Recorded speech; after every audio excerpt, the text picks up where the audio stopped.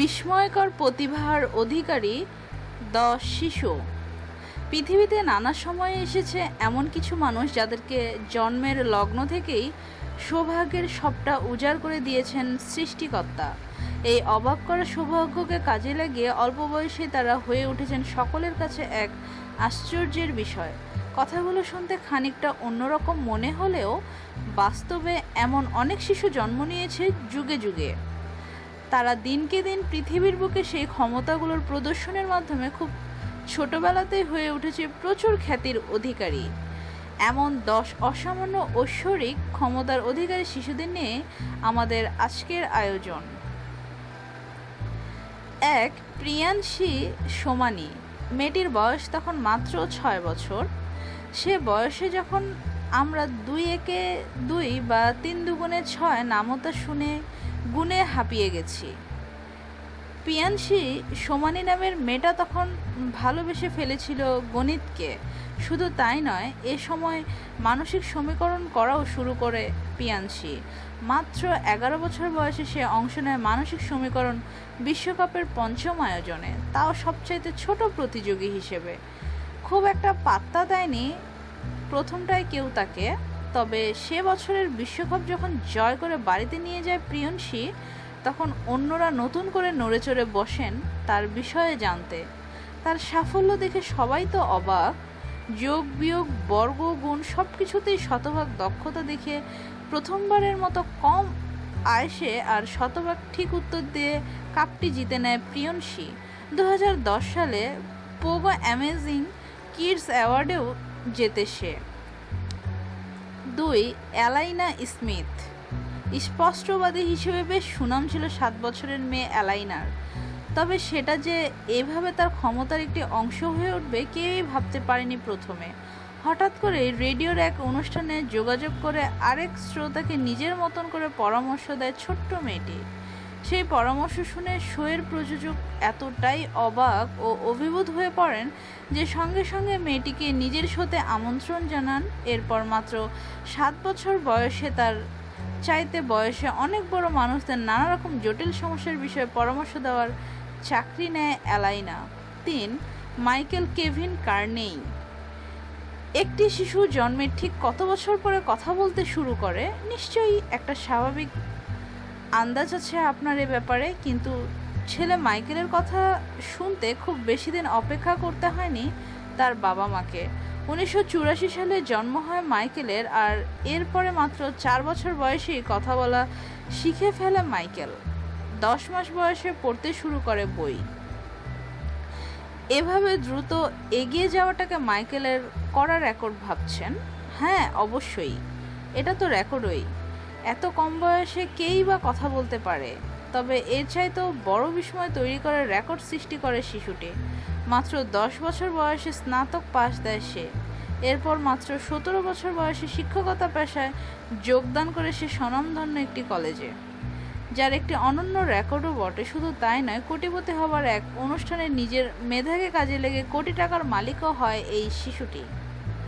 চার গ্রেগরি আর স্মিথ উনিশশো নব্বই সালে যখন জন্ম নেয় শিশুটি, তখন পর্যন্ত কেউ বোঝেনি ঠিক কতটা অবিশ্বাস্য তার প্রতিভা। মাত্র চোদ্দ মাস বয়সে একের পর এক বই মুখস্থ করতে শুরু করে গ্রেগরি সবচাইতে কম বয়সী হিসেবে ভর্তি হয় বিশ্ববিদ্যালয়ে।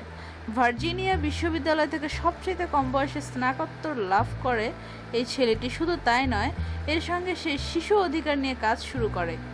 বিশ্বশান্তি প্রতিষ্ঠায় উদ্যোগ নিতে থাকে নতুন করে। আর সবাইকে চমকে দিয়ে নিজের এই কাজের জন্যই মাত্র বারো বছর বয়সে নোবেল জয় করে গ্রেগরি।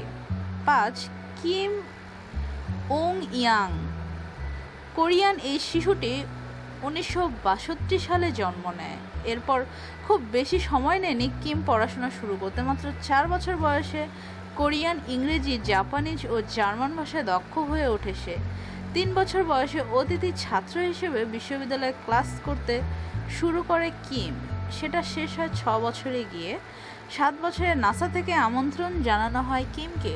গণিত, ক্যালকুলাসের বহু জটিল সমস্যার সমাধান পাওয়া যায় কিমের কাছে। পনেরো বছর বয়সে দুটি বিষয়ে পিএইচডি করে অবশেষে পড়াশোনা ছাড়েন কিম। তার আইকিউ লেভেল দুশো দশ, যেটা কিনা পৃথিবীর আর অন্য যে কোনো মানুষের তুলনায় প্রচণ্ড বেশি। ছয় আকৃত জ্যাসওয়াল একশো ছেচল্লিশ আইকিউ লেভেলের অধিকারী ভারতের সবচাইতে মেধাবী ছেলেটি সবার নজরে আসে। দু হাজার সালে তখন তার বয়স ছিল মাত্র সাত বছর। এই বয়সে নিজ থেকে একটা সফল অপারেশন করে ফেলে সে। ওষুধ ও চিকিৎসাবিদ্যায় বেশ নাম করে আকৃত খুব ছোটবেলা থেকেই। সেটা এমন পর্যায়ে পৌঁছায়, একটা সময় যে মাত্র বারো বছর বয়সে মেডিকেল বিশ্ববিদ্যালয়ে ভর্তি করে নেয় তাকে। বর্তমানে একই সঙ্গে চিকিৎসাবিদ্যার চর্চা আর ক্যান্সারের প্রতিষেধক তৈরি দুটো বিষয় নিয়ে বেশ ব্যস্ত আকৃত। মনে করা হয় ক্যান্সারের প্রতিষেধক তৈরির খুব কাছাকাছি আছে সে। সাত আরফা করিম, পাকিস্তানের এই শিশু বিস্ময়কে আবিষ্কার করেন বিল গেটস। মাত্র ন বছর বয়সে কম্পিউটার ও সফটওয়্যারের বিষয়ে প্রচণ্ড দক্ষ। তার প্রতিভাকে বিবেচনা করে বিশ্বখ্যাত টেক জায়ান্ট মাইক্রোসফট, এই শিশুকে সবচেয়ে কম বয়সে মাইক্রোসফট সার্টিফাইড প্রফেশনাল বা এমসিপি হিসেবে স্বীকৃতি দেয়। প্রযুক্তিগত নানা স্থানে নিজের দেশকে উপস্থাপনা করে আরফা। নিজের দক্ষতার কারণে প্রেসিডেন্ট অ্যাওয়ার্ডও লাভ করে সে। পাকিস্তানে তার নাম অনুসারে একটি বিজ্ঞান পার্কের নামকরণ করা হয় the Arfa software technology park. Bill Gates তাকে মাইক্রোসফটের অফিসে আমন্ত্রণ জানান। তবে দুঃখজনক হলেও সত্য যে মাত্র ষোলো বছর বয়সে দু হাজার বারো সালে চোদ্দ জানুয়ারি মারা যায় আরফা। আর ক্লিওপেট্রা স্ট্রাটান দু সালে জন্ম হয় ক্লিওপেট্রার।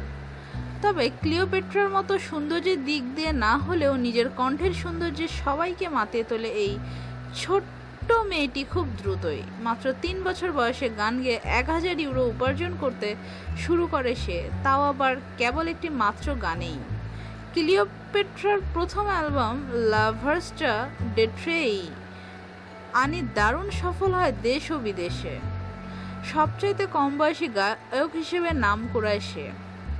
নয়, এলিটা আন্দ্রে ন মাস বয়সে একটা শিশু কি করে?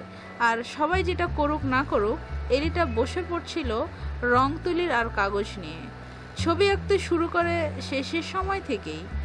দিনকে দিন নিজের ছবির মাধ্যমে পুরো পৃথিবীর কাছে পরিচিত হয়ে ওঠে সে কেবল অস্ট্রেলিয়াতেই নয়, পুরো পৃথিবীতে মাত্র দু বছর বয়সেই নাম ছড়িয়ে পড়ে তার। দু হাজার এগারো সালে নিউ ইয়র্কের এক বিখ্যাত গ্যালারিতে একক চিত্র প্রদর্শনী হয়। দশ, সাউল আরন ক্রিপকে উনিশশো চল্লিশ সালে নেব্রাস্কার ও ওমাহাতে জন্ম হয় ক্রিপের। আর জন্মের পর থেকেই প্রাচীন সব বিদ্যার উপর নজর দেয় শিশু ক্রিপকে। হিব্রু ভাষা শেক্সপিয়ার থেকে শুরু করে গণিতের অলিগলি ঘুরে আসে ক্রিপকে মাত্র ন বছর বয়সে। নিত্য নতুন তথ্য জানতে আমাদের সাথেই থাকুন, সাবস্ক্রাইব করুন।